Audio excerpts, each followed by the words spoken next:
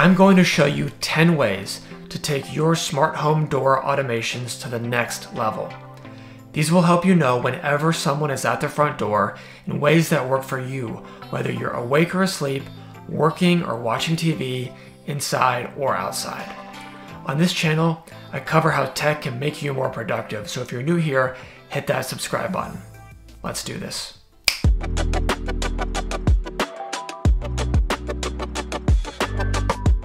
If you have a smart home, there's a good chance you have a smart doorbell or a smart lock. In our home, we're using a UniFi Protect G4 doorbell connected to Home Assistant, which is our smart home platform. Our front door also has a Yale Assure 2 smart lock using Z-Wave. Let's take a look at 10 ways that I'm getting the most out of these devices in our door automations.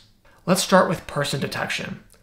My wife and I get notifications on our phones when a person is detected at the front door, including an image of the person in the notification. I specifically have this automation trigger based on the smart doorbell's person detection feature, not just for any motion. Otherwise, we get notified about birds or stray cats that pass by our door, and there's no shortage of that. However, I only want this type of notification when someone visits our home.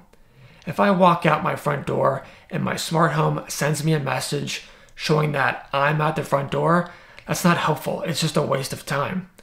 To avoid this, I have a contact sensor on my front door. My smart home automation has a condition that this contact sensor must be closed for at least 30 seconds before sending the doorbell notification. This way, I don't get notified when someone in our family walks out the front door. We get lots of visitors at our front door who are gone quickly, like mail, package deliveries, or someone leaving a marketing flyer. But what about visitors who linger and ring the front doorbell? In this case, my wife and I also get a notification sent to our phones with an image of the person, but I take it a step further with different types of audible notifications. Someone is at the front door. For a doorbell chime, I have a ring chime both in our living room and in our detached garage out back. This way, we hear the doorbell ring if we are inside our home or outside in the backyard. I also have announcements on an Echo or Sonos speaker on each floor of the home, which announce Someone is at the front door. right after the doorbell chime plays. This ensures we can hear it no matter where we are in the house. However, I don't want these noises waking up the kids or disturbing any of us late at night. This is addressed through a time condition.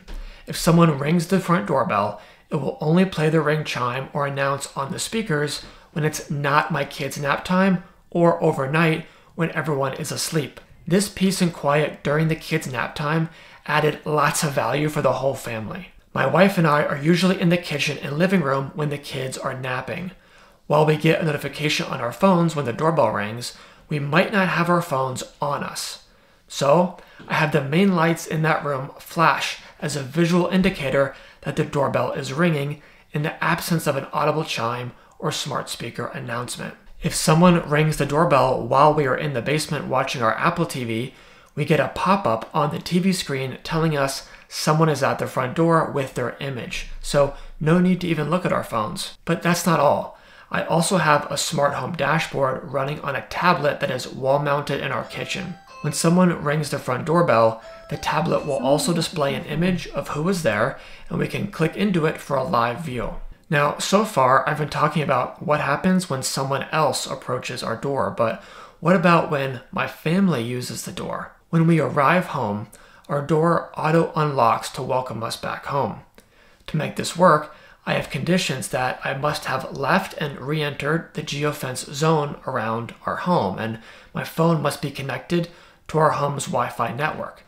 My phone connects to Wi Fi as soon as I get on my property, so this condition confirms that I'm actually home, so my door can't auto unlock if I'm not there. When someone does go out our front door, our door auto locks itself if it's been unlocked for several minutes. Sometimes we step out briefly and we don't want the door immediately locking on us. At nighttime, my smart home locks any doors that are unlocked. Even if we step outside at night after the automation runs initially, it will relock the door so it can't be left unlocked. Whenever an automation unlocks or locks a door, I get a notification on my phone with a timestamp so I know what's going on and when. If we do step out at night, which is probably me chasing down a pesky raccoon, our porch lights turn on automatically, giving us helpful light and a nice outdoor ambiance.